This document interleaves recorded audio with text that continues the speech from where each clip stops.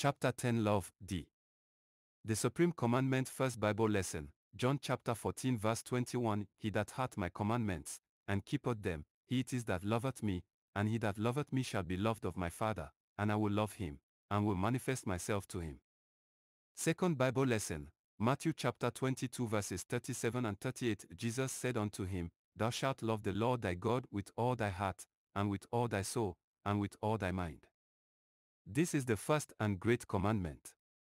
Golden text, 1 John chapter 3 verses 22 and 23, and whatsoever we ask, we receive of him, because we keep his commandments, and do those things that are pleasing in his sight.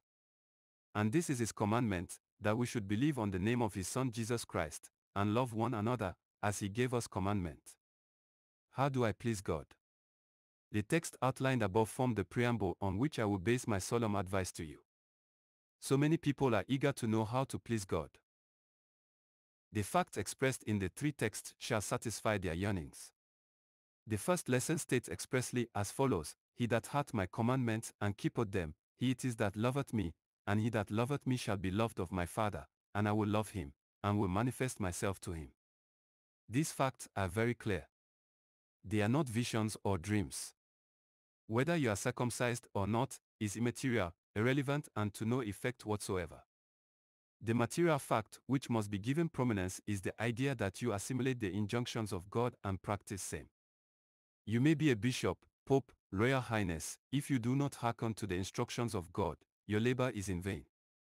If you so wish, erect innumerable cathedrals, donate generously, if you do not practice these injunctions, all your efforts are meaningless.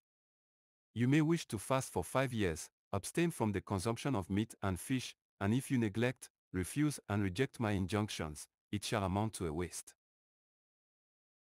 Also, if you like, you can evangelize in many towns, memorize all the verses in the Bible, but if you do not keep the instructions of God, your labor shall be unrewarded. To buttress this fact, read 1 Corinthians chapter 13, verses 1 and 2. See below, though I speak with the tongues of men and of angels, and have not charity I am become as sounding brass, or a tinkling cymbal, and though I have the gift of prophecy and understand all mysteries, and all knowledge, and though I have all faith, so that I could remove mountains, and have not charity, I am nothing. 1 Corinthians chapter 13 verses 1 and 2. Consequently, whoever does not assimilate my teachings, and practice same, shall become as sounding brass or a tinkling cymbal. Note that the words of God are likened to a chain, one ring hooks onto the other. If you fulfill one, it is very likely that you will satisfy others. If you fail in one, there is the tendency of failure in all. You can fulfill the commandment. What is his commandment? His commandment is that we should believe in the name of his Son, Jesus Christ, and love one another as he commanded. He who believes in the name of our Lord Jesus Christ is that man who loves his God, with all his heart, and with all his soul, and with all his mind. This is the first and greatest commandment. This same man who fulfills all the facts stated above is that man that loves his neighbor as himself. The scripture has already confirmed the fact that, he that loves God, the same has exercised the love of one another. But whosoever professes to love God but hates his brethren is a liar. 1 John chapter 4 verse 20. How can you proclaim that you love God whom you do not see, but fail to love your brethren who have physical dealings with you? It was only the apostles of our Lord Jesus Christ who witnessed most of his miracles. They also testified to the upliftment of his work. No son of Adam present in the world today saw, heard or perceived any of Christ's accomplishments. It was these apostles that spread those good news to the entire world. Also, three out of the twelve disciples witnessed the transfiguration, Matthew chapter 17 verses 2 to 5. A voice from heaven proclaimed that, This is my beloved Son, hear him. The deity of our Lord Jesus Christ was revealed and confirmed. These three apostles believed. This news was subsequently spread to other apostles who also believed. They also related same to the disciples, and many believed. The combined efforts of the apostles and the disciples of Christ led to the spread of his teachings. Today, I also urge you to believe in the name of our Lord Jesus Christ. It is only the believers who will keep his commandments. Whoever keeps his commandments is the person who loves him. Our Lord Jesus Christ will reciprocate this love. His Father shall also abide with him. Whatever are his problems, our Lord Jesus Christ will intervene and ameliorate them. Whoever believes in him, he shall grant his heart's desire. His blessings he will pour forth on them. Christianity, the Genesis in Luke chapter 19 verse 40, it was recorded, and he answered and said unto them, I tell you that, if this should hold their peace, the stones will immediately cry out. It is a fact that no one can challenge or contest any given fact, situation, rights, or privileges with God. He manifests in whichever way he deems fit. Take for instance, it was Israel that he chose. He was born and bred there. However, the Romans, their arch enemies, accepted the teachings of Christ and believed. Rome therefore became the cradle of Christianity. The Jews neglected and rejected him. Today none of the Jews, not even one, accepts Christianity. Such are the ways of the Lord. Romans only paid lip service to him. He manifested elsewhere. Oh yes. That is the mystery of God. The process can be elaborated briefly as follows. The Romans believed in him and manifested his glory in their midst. Later, they paid just lip service to him, and he deserted them. Then came the Protestants. King James broke away from the Roman Catholic and founded the Church of England. So the proliferation of churches continued. However, God also continues to manifest himself as he wants. He chooses where to dwell and when. Like now, he has manifested in your midst. You do not believe, you also reject him. However, by the time you realize yourselves, he will be operating elsewhere. Divorcement, the Pharisees also came unto him, tempting him, and saying unto him, Is it lawful for a man to put away his wife for every cause? And he answered and said unto them, Have ye not read, that he which made them at the beginning made them male and female, and said, For this cause shall a man leave father and mother, and shall cleave to his wife, and they twain shall be one flesh. Wherefore they are no more twain, but one flesh. What therefore God hath joined together, let not man put asunder. They say unto him, Why did Moses then command to give a writing of divorcement, and to put her away? He said unto them, Moses because of the hardness of your hearts, suffered you to put away your wives, but from the beginning it was not so. Matthew chapter 19 verses 3 to 8, this abstract must be studied carefully. It is important for all the Orthodox churches to note it. I have noticed a new development in the doctrine of the many churches. They marry in court and divorce at will. I feel they have contravened the teachings of our Lord Jesus Christ. I call for an immediate change. In some Orthodox churches, the practice of monogamy is upheld. But in a clandestine manner, they tolerate divorce. That is to say, a divorcee is accepted in their midst. In their practice, a divorcee may worship, but is not entitled to partake in the Holy Communion. Many members enjoy this practice. They use it as a cover to operate polygamy.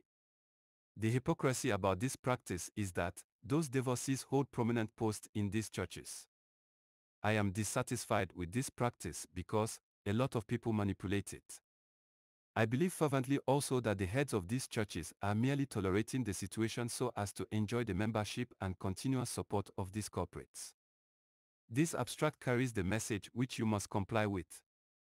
Destiny you may ponder on why Adam and Eve ate the forbidden fruit, they ate so that we may multiply. Genesis chapter 3 verse 9, without their sinfulness, there would be no death. Without death, there would be no life. In John chapter 12, Verse 24, this fact is clearly indicated as follows, Verily, verily I say unto you, except a corn of wheat fall unto the ground and die, it abideth alone, but if it die, it bringeth forth much fruit. John chapter 12 verse 24, from the foregoing, the action of Adam and Eve cannot be qualified as a mistake. Similarly, the fact that the Israelites did not accept and glorify the Messiah should not be condemned. If they did not reject him, there would have been no chance for the Gentiles. Without tribulations and hardship, you would not search for a cure. In a bid to seek deliverance, you will come in contact with many witch doctors, necromancers, herbalists, shrines, and temples. If God did not predict the tribulations, sufferings, slavery, and bondage of the Israelites for 400 years, how would this have come to pass? God also indicated his intention to punish the Egyptians for whatever role they played in subjecting the Israelites to slavery and bondage. God is, on the one hand, the cause, and on the other hand, the effect and remedy to every problem. A local proverb has it that, it is God who causes the injury, and he is the one who provides remedy. To buttress this fact, I will ask the following questions. 1. Who was responsible for the treatment which the Egyptians meted out to the Israelites? 2. Who delivered the Israelites out of Egypt? You will agree with me that God was responsible for these situations. The family of Jacob was a large one. He had 12 children who were all boys. Let us examine closely why all others united only to hate Joseph who was the youngest. Reuben's arrangement was that Joseph should be killed. Judah contested this fact and won. A decision was reached that he should be sold, and the profit shared amongst them. He was sold into slavery. As was destined, he settled in Potiphar's house. He overcame the temptation to commit adultery with Potiphar's wife. Later, he was falsely accused and imprisoned. From the prison, he was appointed a governor, an exalted position he occupied until a reconciliation was effected between him and his brothers. The question is, who was responsible for all this? It was God. Pharaoh had a dream which only Joseph could interpret. These happenings were symbolic so that the words of God might be fulfilled.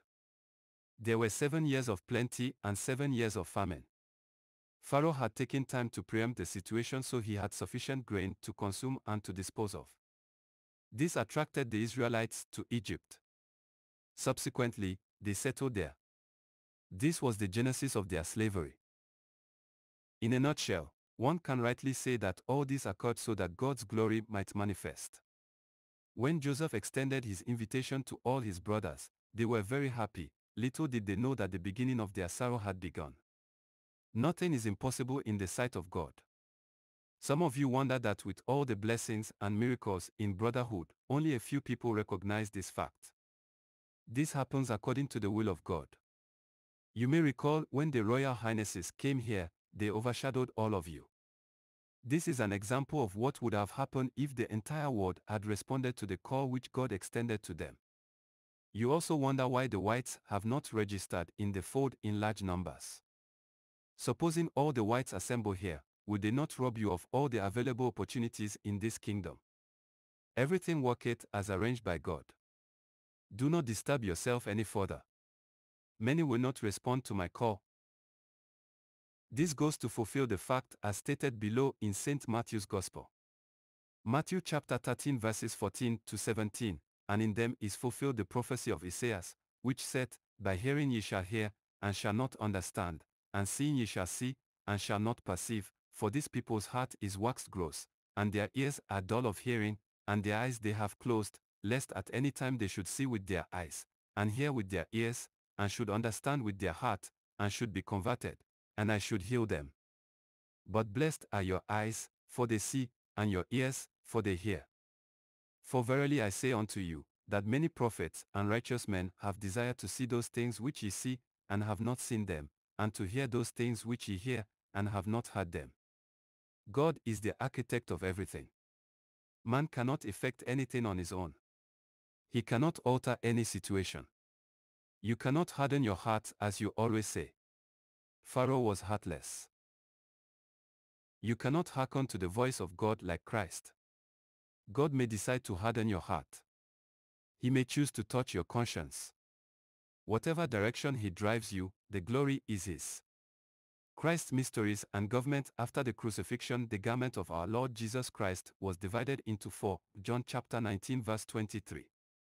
These four parts of the garment were later given to the four soldiers who were present at his graveside. These four soldiers represented the four cardinal points in the world. He had yet another, coat, garment which did not have straight cuts. The soldiers decided among themselves to cast lots. Whoever won the lot would have the said garment, coat. This event represented the absence of Judas Iscariot. You may recall that the apostles cast lots in order to choose who would take his place, Acts chapter 1 verse 26. This further goes to vindicate the fact that leadership need not be duplicated. For sound governance, there must be just one leader. For an example, Cross River State has just one governor, and Nigeria, one president. This does not mean that leadership should be for life. The Shagaris, the Gowons, the Babangidas have to come and go.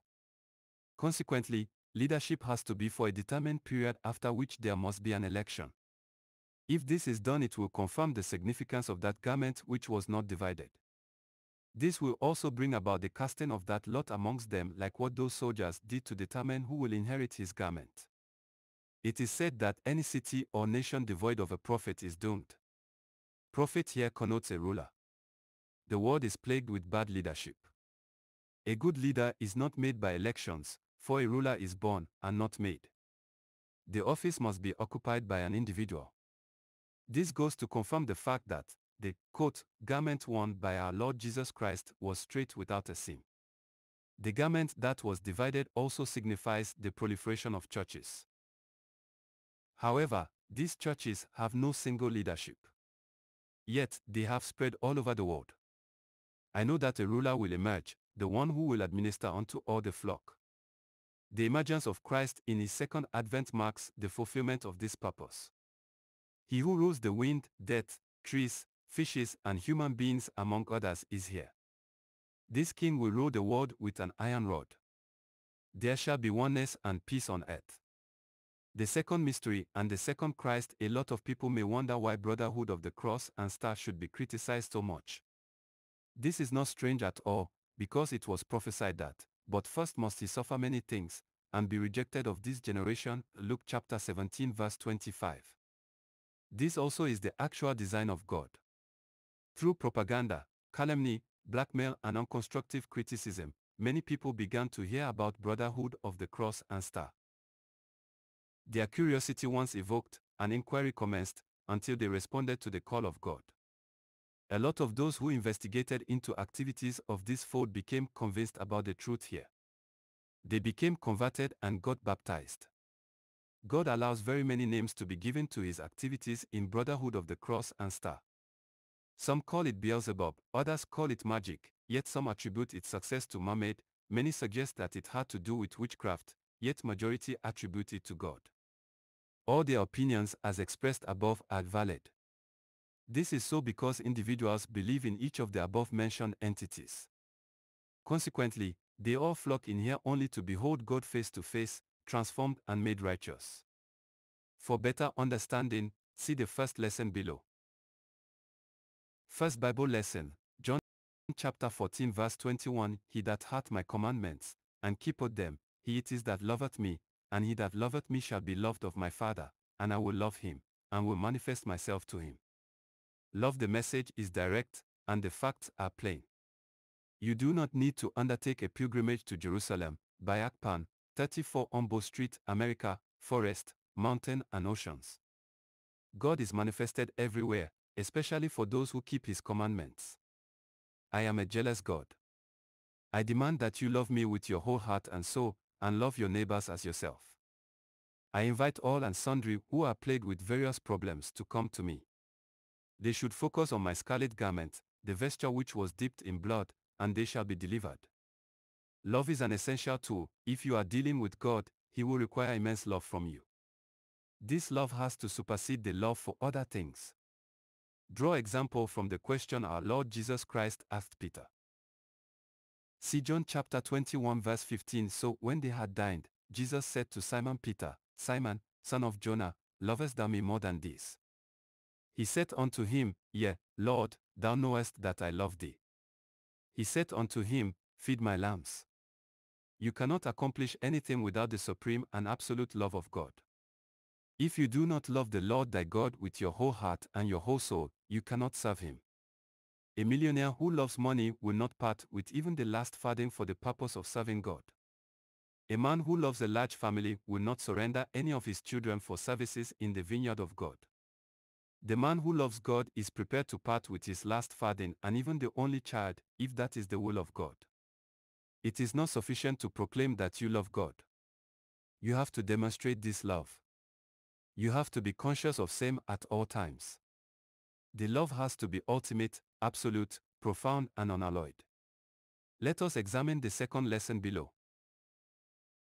Second Bible lesson, Matthew chapter 22 verses 37 and 38 Jesus said unto him, Thou shalt love the Lord thy God with all thy heart, and with all thy soul, and with all thy mind. This is the first and great commandment. Cherishing the brotherhood this is the first and the greatest commandment. You do not strive to possess this love. Rather, you dispense your energy searching for money, husband, wife and children. If you had loved him, he would have manifested in you. Be righteous, for he hearkens only to the pure, and his whole attention is focused on them. Do not lament when you are afflicted or amidst confusion. Speak only but words, for he will hearken to you. Thank him immensely for granting you a relief. He is your fortitude in times of trouble. His protection on you all is great. No man, no angel can dare raise an accusing finger on you. I am always with you. This signifies the presence of the light. The light is easily noticed and commented on. It illuminates and drives away evil. No iota of evil can penetrate your territories. This is because you have faith in me. I manifest in you a lot. That is why you raise the dead as if it were child's play. The love of God is profound and there is no limit to his mercies. Consequently, you also defend with all your might your stance about brotherhood of the cross and star. Take for instance, the fact that you are invited to a place where you are supposed to negotiate business which will yield a profit of several millions of naira. If after negotiation with them, they realize your identity as a brotherhood and make jest and ill comments about the Holy Father, your reaction shall be to avoid them. You will abandon and refuse to conclude the business. You will feel insulted.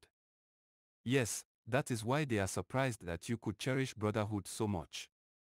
See once again, the golden text below. Golden text, 1 John chapter 3 verses 22 and 23, and whatsoever we ask, we receive of him, because we keep his commandments, and do those things that are pleasing in his sight. And this is his commandment, that we should believe on the name of his Son Jesus Christ, and love one another, as he gave us commandment. You are not alone you may be in the midst of friends, and spiritually, the Father comes in. You will quickly prostrate in reverence to his spiritual presence.